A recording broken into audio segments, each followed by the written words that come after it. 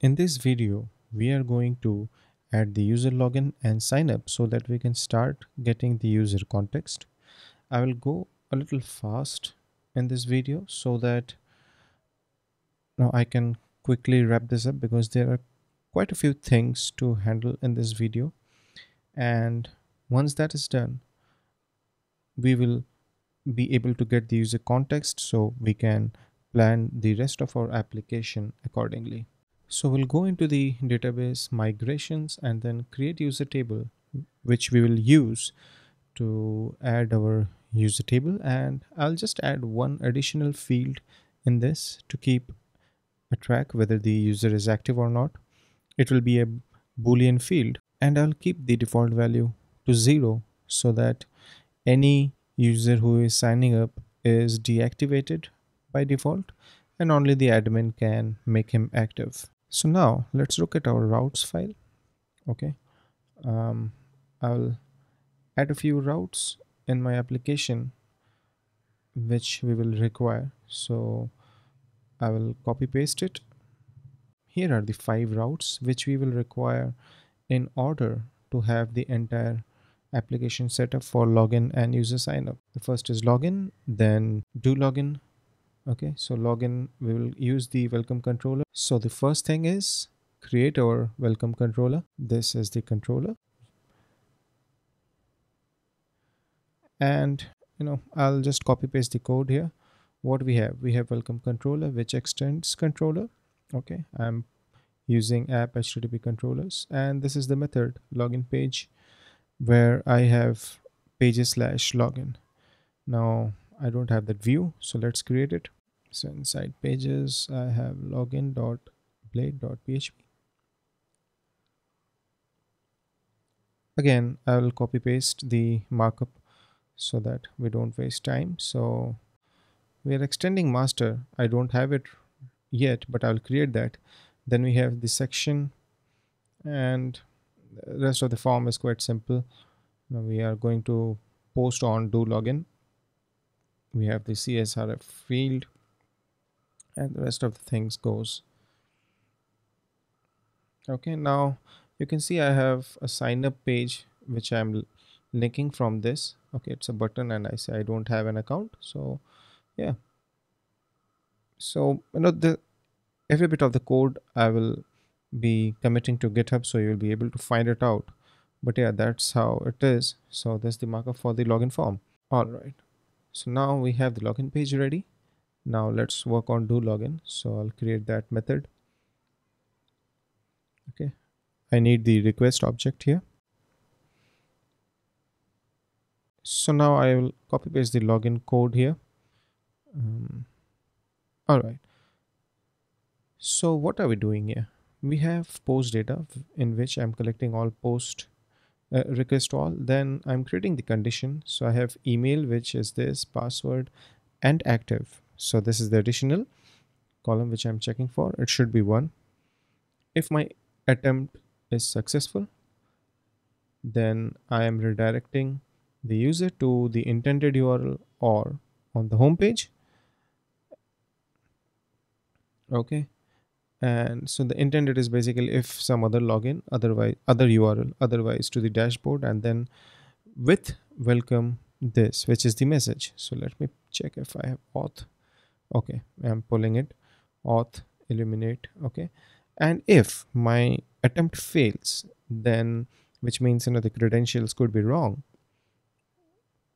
then we are redirecting the user back to the login page with this error message. Now for this error messages to show up, I'll need to create a blade file, the partial where I'll show all the message. So let me go ahead and create that first. So inside resources, views, I'll go into the partials and I will have message.block.blade.php. Okay. And I'll copy paste the code here so yeah um, what we are doing here is the first block says if there are errors this will typically happen when you know we have validation errors. So we are looping them and we are displaying one below the other in an li okay. So that's how we get this. Then we go to the next which is session get success. So if we have any welcome you know those welcome messages they are always in session success. So i'm checking whether it's an array. If it is an array then you know print one by one or else just print the data okay. And once that is done the session get error is also the same. You know we loop to uh, if it's an array otherwise we print the data. Yeah that's about it. That's how you know the messages will be displayed. This is the partial which i'm going to use. So now let me see i need to create the master blade. I don't have it yet. Let me check the resources. Where is it? Um, this is login. It's extending master. But I don't think I have the master so I'll have to create it. Yeah. So here is my master blade. I'll just copy paste the code again quickly. So yeah I'm including header which I need to create the block we have created I'm yielding content uh, which is the section you know, which is going to come here um, if you see my you know the login blade. So yeah this is the content which i'm going to yield in that. And then the rest are the javascript files which i'm pulling. Okay.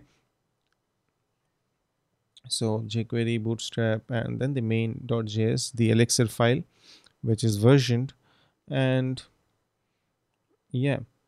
So the header is also required right? So let's quickly create that. I'll go into the partials folder and have header dot blade dot php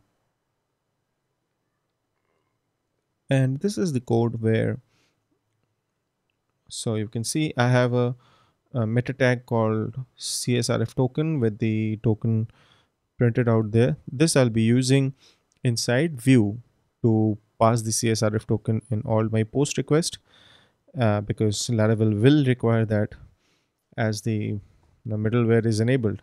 And then the rest are basically app and font awesome CSS.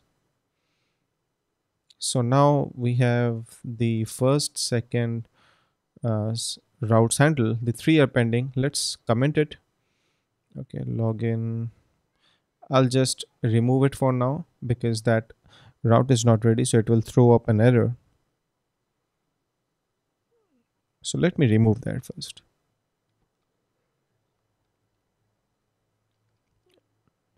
And let's run now and see if we can see what's happening. Now this is slash, but we need to put it in auth because you know that's going to be our dashboard. So I'll create a route group. I'll pass a middleware here. It will be auth function and this okay so with that we are ready to check. Okay. And let me refresh. Okay i'm still getting it. Why is this happening? I think my session is still on and i need to create the logout because i'm already logged in. So okay let's have that url ready first. So welcome controller. Okay we will create our logout method. That's going to be a get so not a problem. The only thing which we need to do is auth logout and then we will redirect the user. Okay. So return redirect will go to the login page that should do. So let's now handle the menu because we need a login buttons right? Sorry the logout button. So this is the last one. Here i will say logout and i'll have the url fine. So this is done. Uncommented. So three urls are done and hit refresh. Okay log out. So i have the login screen. If i go to dashboard i'm redirected back to my login screen. Okay and let me log in. Yeah that's how you can log in because I have all the migrations already in place. Okay so yeah now we will handle the sign up. Let me go to welcome controller. Sorry.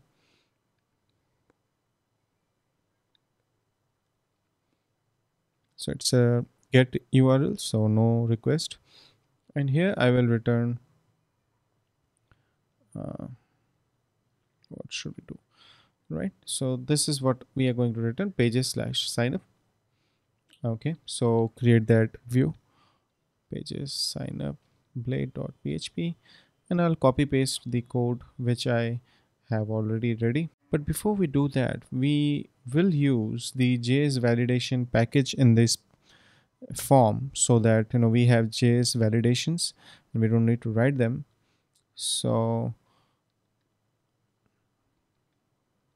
first let us create a request sign up request okay this is the request which we are going to use along with JS validation.